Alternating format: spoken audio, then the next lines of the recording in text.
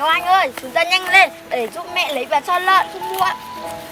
Này đi này bèo Này này bèo Áo đẹp thế đấy Mà đi này bèo Cho nó bẩn ra Là chúng ta nghèo, phải giúp mẹ chứ.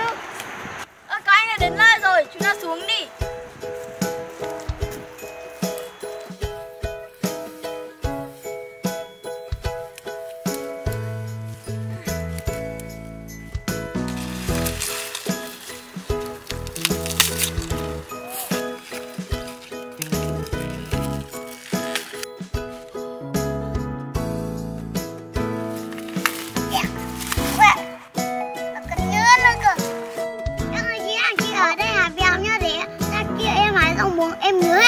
Rồi Ừ, thế cũng được.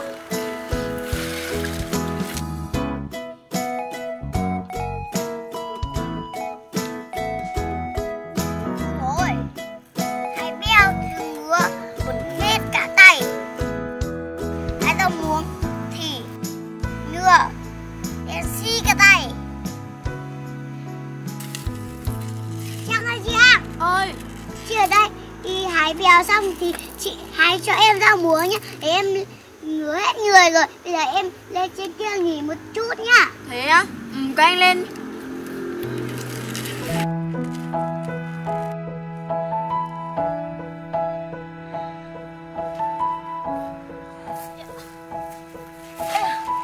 Anh ơi, chị ngặt xong rồi, chúng ta đi về đi.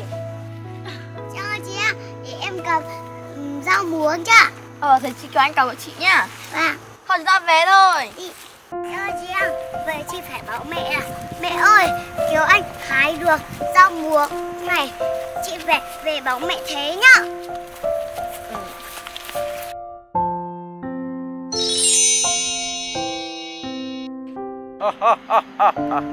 Hai con đi đâu vậy? Dạ, hai chị em con đi hái về cho lợn đấy ạ. Còn ông não là ai hả?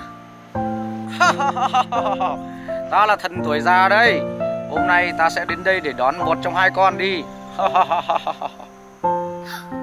Thân đuổi ra á Còn hai con, ai là chị, ai là em?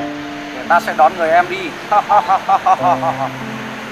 Bên thầy đi theo thân đuổi ra á Mình sẽ trở thành người xấu xí Mặt thì nhăn nheo Như quả tàu tàu ấy.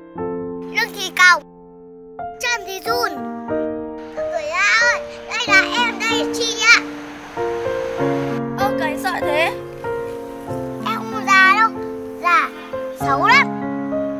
Tại sao mà em lại lớn hơn chị nhiều như vậy?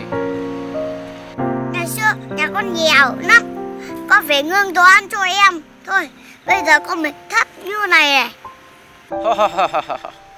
Có thật là như vậy không? Thật mà Ơ, nhưng mà cậu anh. À đúng rồi thật ạ. Con lại em còn đây là chị. Thế các con đã chắc chưa?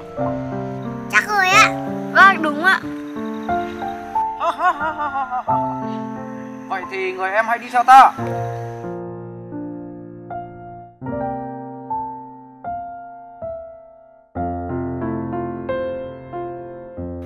Con người chị, Ở lại lát nữa sẽ có thần tuổi trẻ đến đón.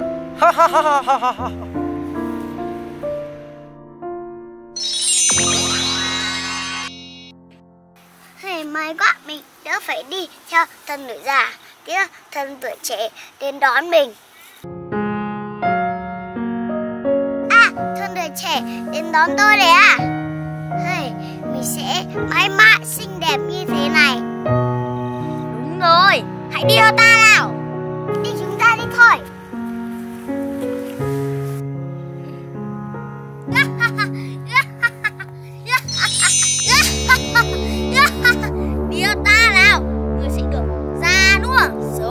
Xấu. Cái gì á? À, thân tuổi trẻ cơ mà Tao mới là thân tuổi già đấy này. Cái ông già kia là thân tuổi trẻ. Cái ông già ấy suốt ngày đi động viên mọi người nên mới già rụa như thế đấy. Ta chả phải làm gì nên mới trẻ trung như này thôi. Ta sẽ hút hết sinh lực của các người và ta sẽ mãi mãi trẻ đẹp như thế này.